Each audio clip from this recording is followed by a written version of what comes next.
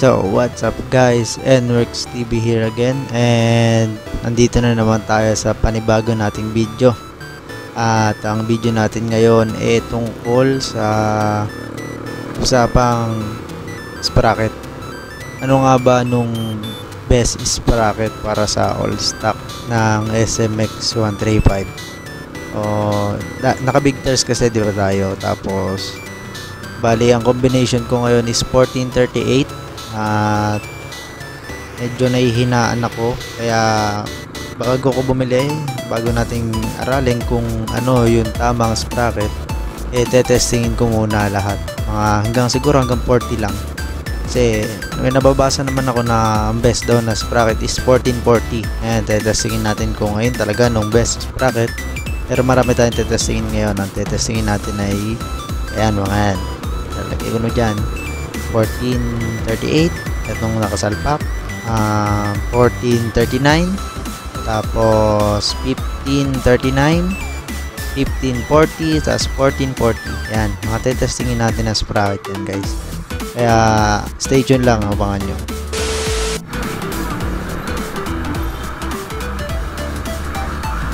So what's up guys?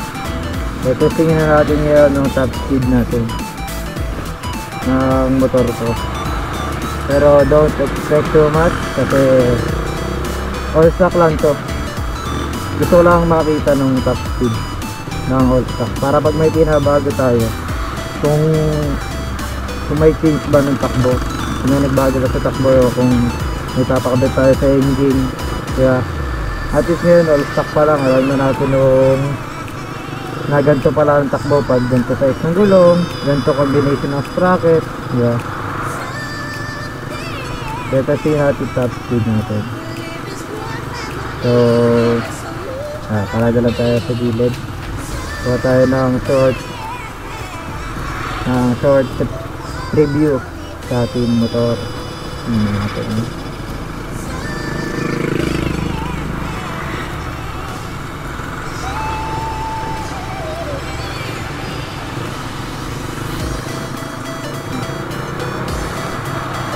top dahil dito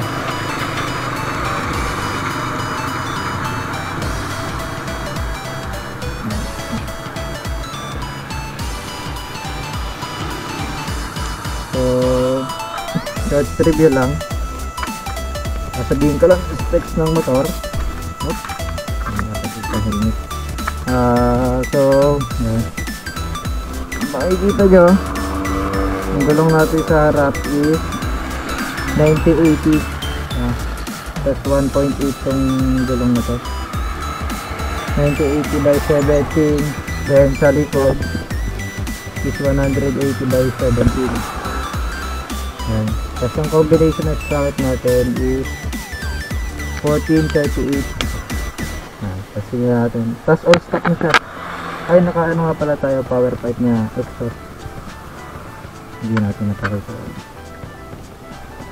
naka exhaust R6 Ayan.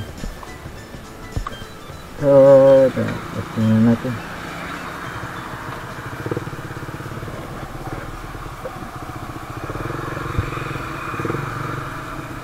R6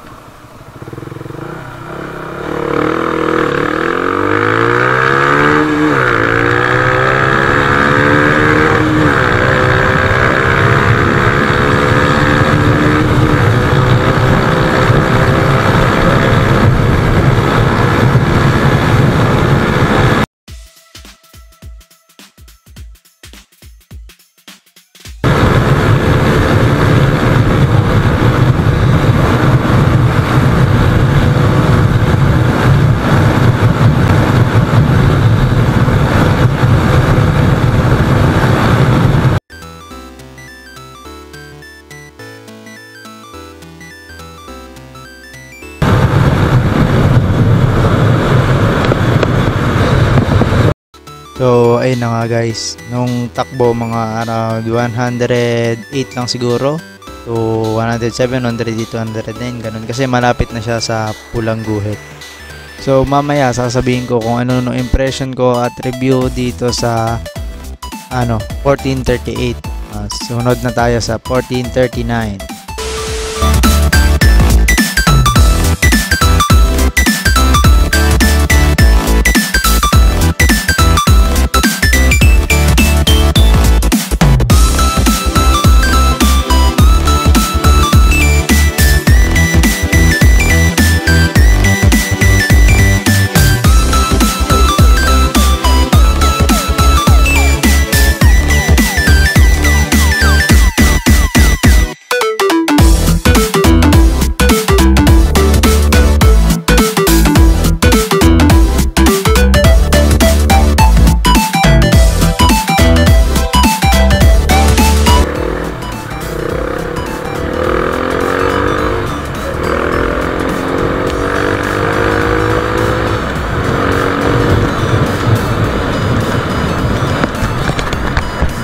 Fourteen thirty-nine sprocket.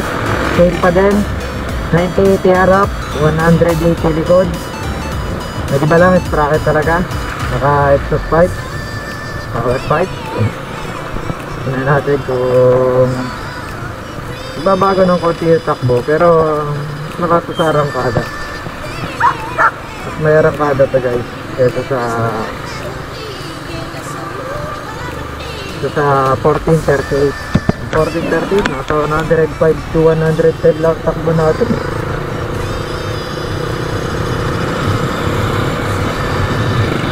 Ito kaya hindi natin alam kung ilan takbo natin dito.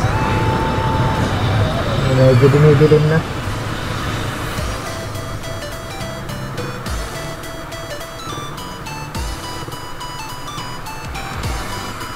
Papakita ko muna sa inyo nung short na nakalagay talaga nung 1439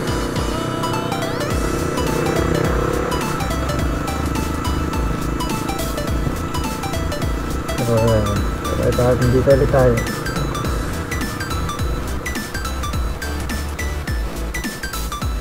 Op yeah.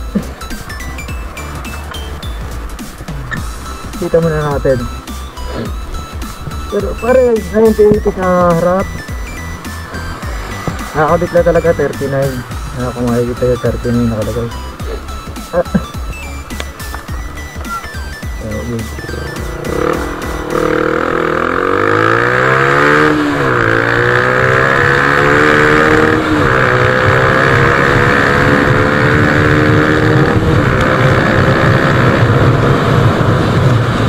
Oh,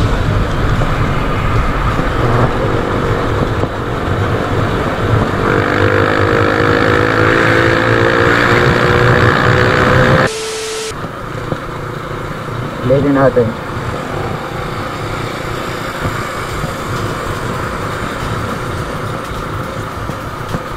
Hindi ba tayo nakita?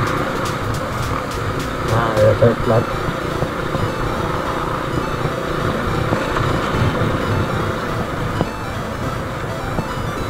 Namara na kotse. Ulitin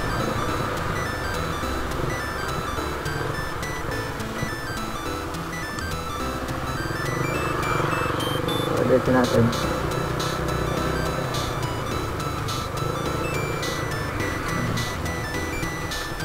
One.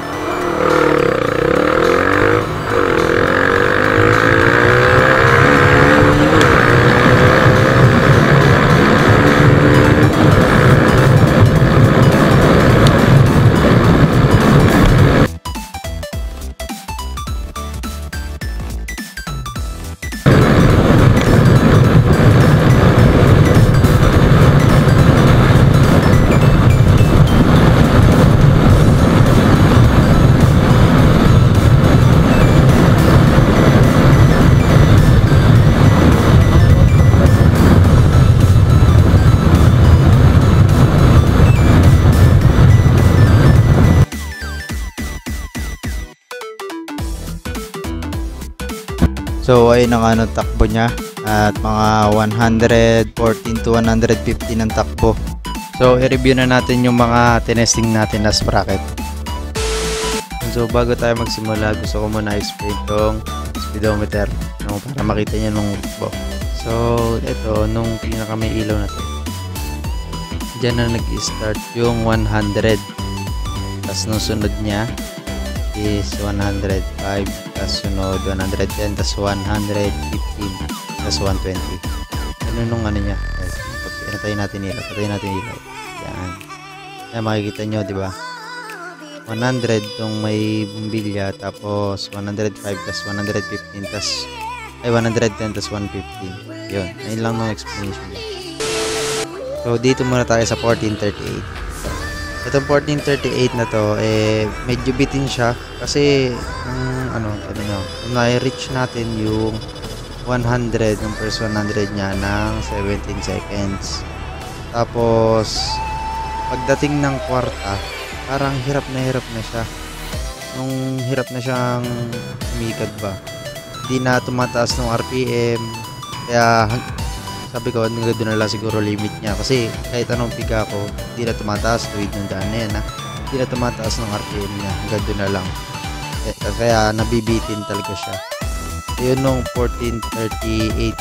Kung all stock nung motor nyo, hindi ko advisable na mag 1438 kayo kung naka big tires kayo kasi talagang bitin nung kinta nung RPM hindi tumataas kaya hindi niya ma-reach nung limit ayun lang guys. Kaya, ang ano lang diba 108 to 109 ganun nung top speed niya. Tapos pag ahunan hirap siya. Hirap umahon nung parang bitin na bitin siya. Lalo na pag may angkas. Ramdam na ramdam talaga. Kaya, hirap na hirap talaga pag 1438 kaya X tong 1438 para sa akin. So, dito naman tayo sa 1439. So, eto, guys, nagustuhan ko nung hatak nitong 1439. Eh, gustong gusto ko siya, guys. Ang bilis ng acceleration niya. Ang laki ng pinagbago kasi sa 1438. Kung sa 1438 is na may saro tayo 17 seconds, sa 1439 14 seconds lang. O, ang laki ng binaba niya sa first 100, di ba? Saka ang ganda ng hatak nito kahit may angkas, kayang-kaya. Pero nung top speed niya talaga is naglalaro lang sa 114 to 115. Sagad na yun guys. Hindi na talaga tumataas. Tinesting ko rin sa diretsyon diretso sa highway.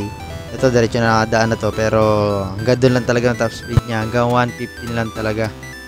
Pero tulad ng 1438 hindi niya pa rin nare-reach yung RPM niya sa dulo. Parang kulang pa rin guys. Kaya may ilalakas pa ng makina may potential pa siyang tumaas. Hindi pa sagad ng RPM niya, ramdam naman sa makina guys. Kaya ano, pwede may tatakbo pa tong matulin. Testingin natin sa mga susunod na video. At maraming salamat. Sana nag-enjoy kayo sa panonood. Sana may natutunan kayo. At may part 2 pa to. We continue to. Ikakat ko na lang ngayon kasi hindi pa ako tapos mag-shoot eh. May, may, may tetesting pa tayo sa sprocket. Abangan nyo na lang sa next video. Yun lang guys, like, share, and subscribe. Maraming salamat. Comment down below kung may suggestions kayo and thank you.